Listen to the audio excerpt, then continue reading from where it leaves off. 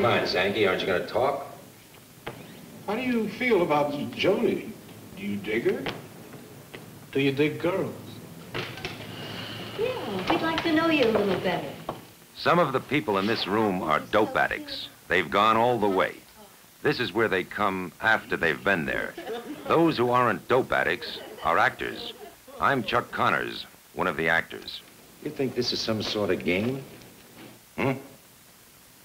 We're trying to save your life, Zankie. but you never did talk straight, did you? You've never said one word from your gut, have you? Hey, man! Hey! All right, let's break this thing up.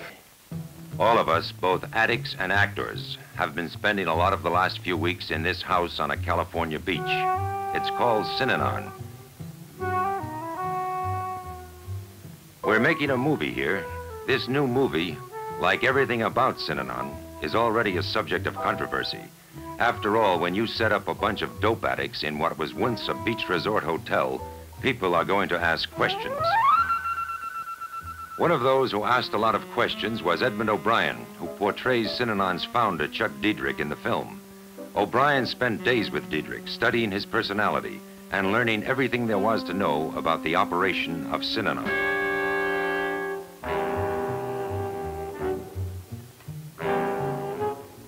The characters in the screenplay are typical of the case histories at Synanon.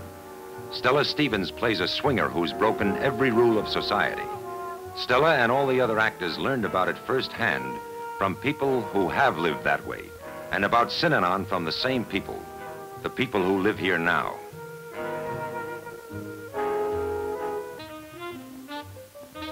Turnabout is fair play. I'm coaching two of the Synanon members who play themselves in the film.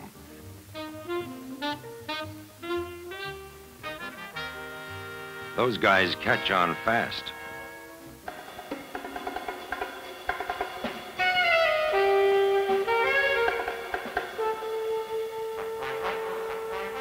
Richard Quine, director of the movie, is using every corner of Synanon and most of its people as an integral part of this story.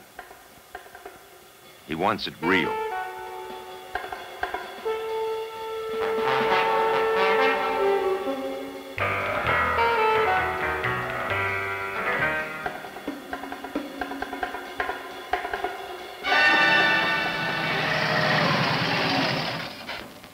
A new kind of movie star makes his debut in Synanon. He's Alex Cord, ex-rodeo rider.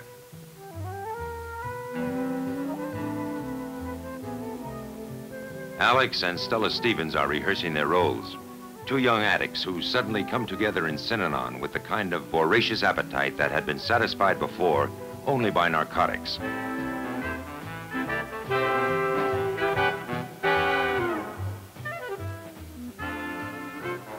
Their clandestine love affair rocks this community of social outcasts.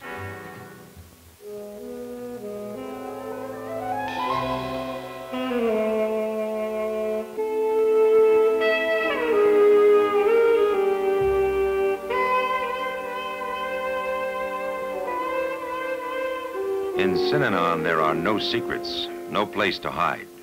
I've seen you taking care of this dope fiend. Boy, you were the queen mother. Romeo and Juliet. What do you want to bring that up again for? Everybody's heard it 200 times. So they'll hear it once more. The same old pattern. For people who have tried everything, shame has no meaning. Now, Joni is free to swing a little with a new Dauphine boyfriend. But you have one great problem. Your husband doesn't make enough money to support both your habits, you and your boyfriend.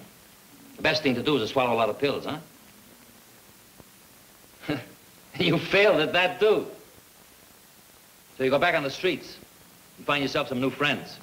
By the time you get back here, you're so sick you don't even remember your name. Did you? Well, did you? No, I didn't, okay? I didn't, I didn't. No one has ever made a dramatic motion picture inside the house where dope addicts gather to take care of each other. There's never been a place where people who've gone so far beyond the